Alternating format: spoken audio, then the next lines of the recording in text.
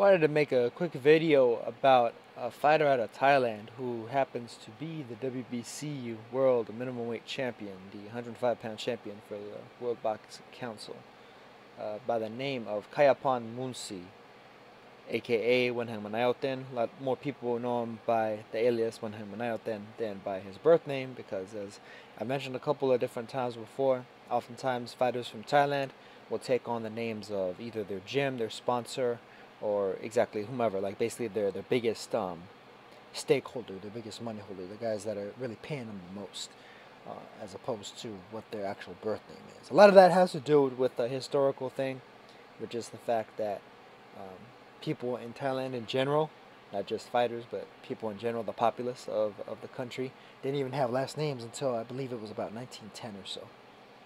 There's a bit a bit of a history tidbit right there. Um, interesting, very interesting culture. Of course, you know, uh, people in Thailand are very, um, very fight heavy. You know, very fight savvy. The Muay Thai kickboxing, of course, is the national pastime, and professional boxing, you know, Western style boxing is very much in keeping with that as well. You know, a, a fairly similar discipline in a lot of ways. Excuse me for that, but yeah, just uh. He's a fighter who is 44 and 0 with 17 knockouts right now. He has a fight coming up on Wednesday here, on the 25th against Melvin Jerusalem of uh, the Philippines. Uh, Melvin Jerusalem is a fighter that's only 11 and 0 with seven knockouts. So you know he has a little bit of power, uh, a little bit of a puncher, but a guy that his overall record seems to pale in comparison to what Wanheng is bringing to the table. Uh, but you know, and especially because of the fact that Wanheng has fought a, pr- fair few um, pretty solid fighters along the way of becoming a champion and defending his titles. Um, most notably, I'd say his last fight, his most recent defense against Saul Juarez of Mexico, and his initial title victory over Oswaldo Novoa, who was the then champion, uh, also of Mexico. Two really solid fighters, two of the, the better fighters at the lower weights um, over the last few years.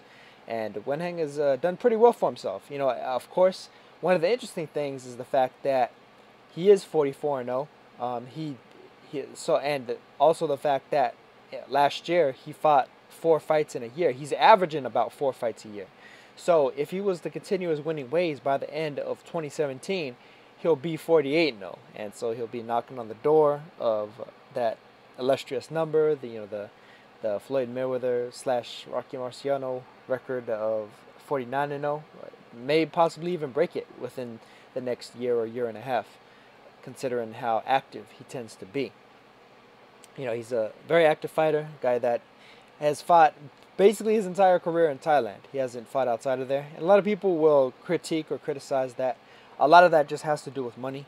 You know, the, the biggest money at the lowest weights tends to be very insular and it tends to be primarily in Japan, but also in Thailand as well, because as I mentioned before, Thailand takes their fighting, just fighting sports in general, very, very seriously, especially Muay Thai kickboxing and then followed immediately by boxing. Not even mixed martial arts is able to like get any kind of like real grasp over there the way that that boxing is because for them it's all about the striking it's all about you know putting hands or feet or elbows or knees on you. You're like you know it's all about hard hits and doing damage.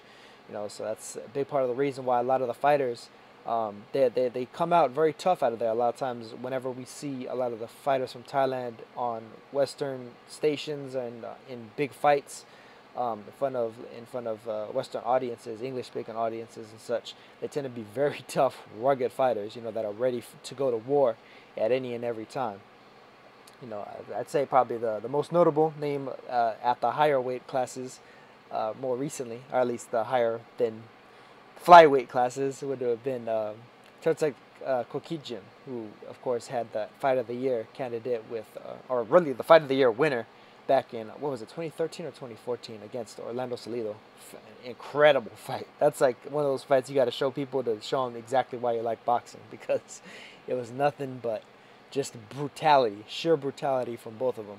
Um, you know, the, the, the, one of the few guys to really do serious damage to Cito and like have him reeling on a, at, in a couple of moments. Just a tough, gritty fighter. Um, and Menayothin is very much the same. Although Menayothin, I think, has a lot more boxing skill. He definitely boxes on a higher level than the likes of Terdsak. Um, but yeah, uh, Wanheng, uh, I'll, I'll try to call him Van Heng um, as opposed to. It's easier to say. Within the next uh, year, year and a half, he may be able to knock on and even surpass that record, even before you know Roman Chocolatito Gonzalez uh, does. You know, and, uh, a lot of people make a big deal about Gonzalez's record. It seems like a lot of people try to hate on Gonzalez because of the fact that he might actually be the one to break that, to actually break that record.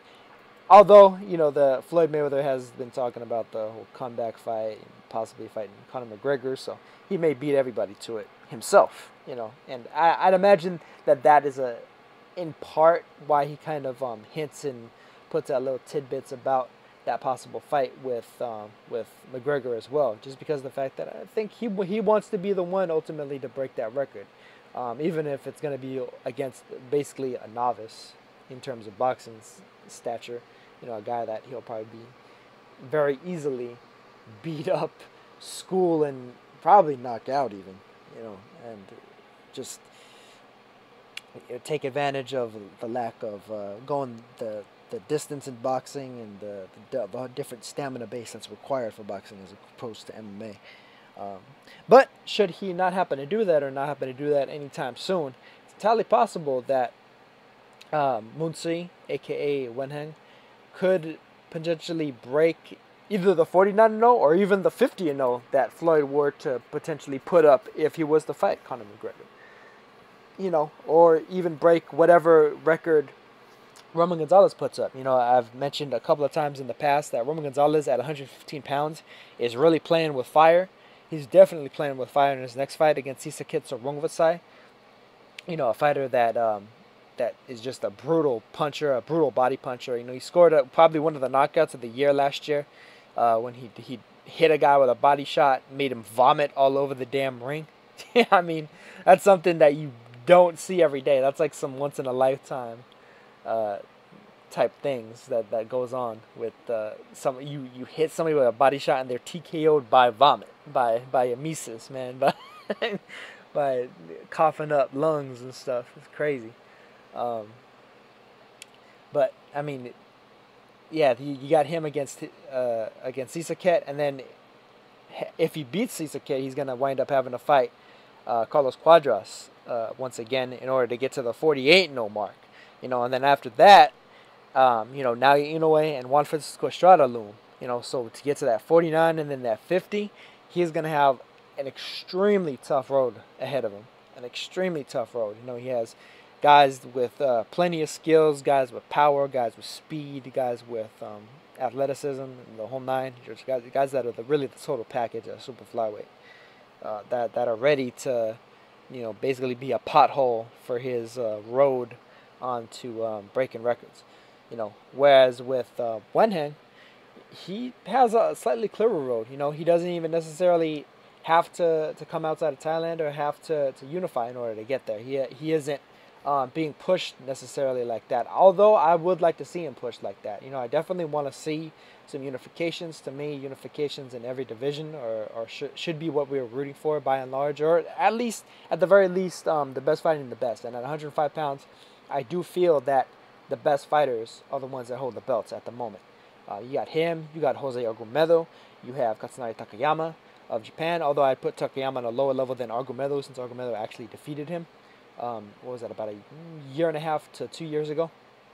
And then also um, knockout CP Freshmart.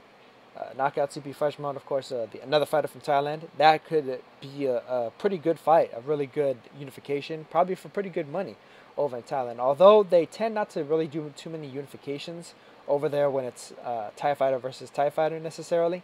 Um, but Knockout CP Freshmart was the first unified and actually like undisputed basically Muay Thai kickboxing champion as well. So he's kind of broke that tradition himself. So it's very possible that we could see him try to break that tradition once again and try and um, really take over at the 105 pound weight class in, in boxing as well. As for um, Wanheng though, I mean, I, I wouldn't doubt his chances against any of those guys. Uh, absolutely not. Um, the one guy that I'd probably give the best chance of actually beating Wanheng would be um, Jose Argumedo himself. Uh, he's a fighter.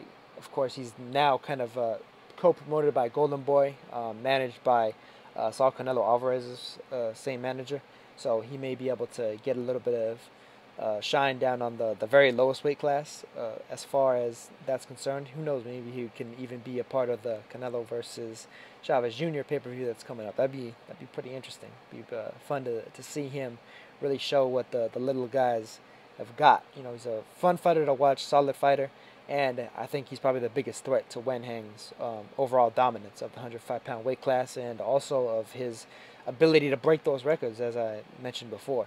Um, you know, Wanheng is only 31, so he's pretty much smack dab right in his prime. You know, he's he just won the title a couple years ago, and um, he's definitely still growing. You know, I think he's improved over the last couple years as he's become a champion. He's um, really grown into and come into his own as a, as a champion. Um, to me, like he's probably the classiest boxer of the bunch at 105. And uh, honestly, I think it's really going to take uh, just a, supreme talent in order to defeat him. I think it probably would have taken somebody like a Kosei Tanaka, who's already moved, who's already moved up out of the division, in order to defeat somebody like him. You know, like I think um, he'll probably reign down there for a, a good little while, and um, I could definitely see him send some records, and maybe by way of doing that, he'll be able to get some more attention on the lowest weight class, and maybe uh, we could potentially see him stateside. Um, Although, as I mentioned before, him versus Argumedo, I think would be a uh, very compelling fight, a fantastic fight, and I think it'd definitely be worthy of, um, you know, just even it being like a co-feature, a co-feature on maybe one of these HBO cards with uh, Francisco Vargas or uh, Saul Canelo Alvarez or something like that, since they have the Golden Boy connection, something like that, man, um, or even like Boxing After Dark or something. But to me, a lot of these fights um, at the lower weight classes can provide fantastic value for money. You don't necessarily have to, you know, come out of pocket in a major way to get these guys more money than what they've been seeing normally. Um, you know, like low six figure stuff is tend, tends to be, I think, the par for course in a lot of these fights, and not even that in many cases as well. Um, although Wanheng uh, is uh, pretty has a draws a pretty damn solid fan base in Thailand in a major way. You know, his his fans are pretty rabid. Um, him and Knockout CP Freshmart's fans are fairly rabid. But just wanted to shine a little bit of a light on him. Um, I am going to do a post-fight review on his fight with Melvin Jerusalem coming up, coming up on Wednesday. So uh, just look out for that. And I think that's probably going to do it for me on uh, Moonsri, aka Wanheng Menayothin. 44 0 17 knockouts. And he's uh, trying to knock on the door of uh, breaking some records and achieving some greatness for the uh, the smallest weight classes, man. Trying to do something similar to what Ricardo Lopez did, uh, retired at 51 0 1, and what Ivan Calderon did, who um, was having a hellacious undefeated run and made it into the pound for pound ranks before. Eventually, he ran up against Giovanni Segura, and uh, his uh, overall viability at the top level was effectively ended right there. Uh, when will Wanheng's overall viability effectively end? We don't quite know yet, um, but I'd definitely like to see him truly tested against the likes of the fighters that I mentioned before. Um, Jose Argumedo, maybe Carlos Buitrago, uh, you know, uh, knockout CP Freshmart, and even Katsunari Takayama himself as well. A uh, lot of lot of good fighters at these underrated weight classes and um, Kayapan, I think, is uh, overall the best of the bunch. So that's all I got to say about that, and I'll catch you guys on the next one. Peace.